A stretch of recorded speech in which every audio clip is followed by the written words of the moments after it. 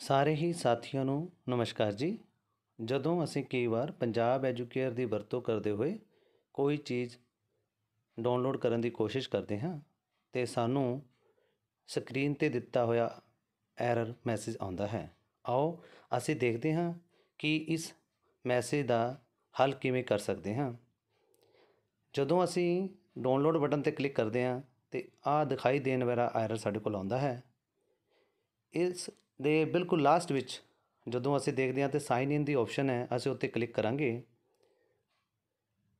ਤੇ ਇਸ ਬਾਕਸ ਵਿੱਚ ਅਸੀਂ ਆਪਣੀ ਜੀਮੇਲ ਦਾ ਅਕਾਊਂਟ ਭਰਾਂਗੇ ਤੇ ਨੈਕਸਟ ਦਾ ਬਟਨ ਦਬਾਵਾਂਗੇ। ਇਹ ਤੁਹਾਡਾ ਪਾਸਵਰਡ ਪੁੱਛੇਗਾ। ਅਸੀਂ ਆਪਣਾ ਪਾਸਵਰਡ ਭਰਾਂਗੇ ਜੀਮੇਲ ਅਕਾਊਂਟ ਦਾ ਅਤੇ ਨੈਕਸਟ ਬਟਨ ਤੇ ਕਲਿੱਕ ਕਰਾਂਗੇ। ਥੋੜੇ ਹੀ ਸਮੇਂ 'ਚ ਪ੍ਰੋਸੈਸਿੰਗ ਕਰਨ ਤੋਂ ਬਾਅਦ ਇੱਥੇ ਸਾਨੂੰ ਪੁੱਛੇਗਾ ਕਿ ਤੁਸੀਂ ਡਾਊਨਲੋਡ ਕਰਨਾ ਚਾਹੁੰਦੇ ਹੋ, ਅਸੀਂ ਜੈਸ ਦੇ ਬਟਨ ਤੇ ਕਲਿੱਕ ਕਰਾਂਗੇ ਅਤੇ ਉਸ ਤੋਂ ਬਾਅਦ ਹੋਮ ਬਟਨ ਤੇ ਕਲਿੱਕ ਕਰਾਂਗੇ।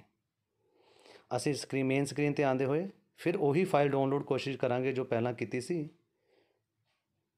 ਜਦੋਂ ਅਸੀਂ ਹੁਣ ਉਸ ਫਾਈਲ ਨੂੰ ਡਾਊਨਲੋਡ ਕਰਦੇ ਹਾਂ, ਜਿਵੇਂ ਤੁਸੀਂ ਦੇਖ ਰਹੇ ਹੋ,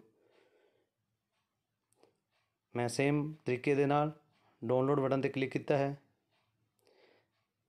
ਤਾਂ ਉਸਨੇ ਡਾਊਨਲੋਡ ਦਾ ਮੈਸੇਜ ਪੁੱਛਿਆ ਹੈ ਅਤੇ ਬੜੇ ਆਰਾਮ ਦੇ ਨਾਲ ਉਹ ਜੋ ਫਾਈਲ ਹੈ, ਉਹ ਡਾਊਨਲੋਡ ਹੋ ਚੁੱਕੀ ਹੈ।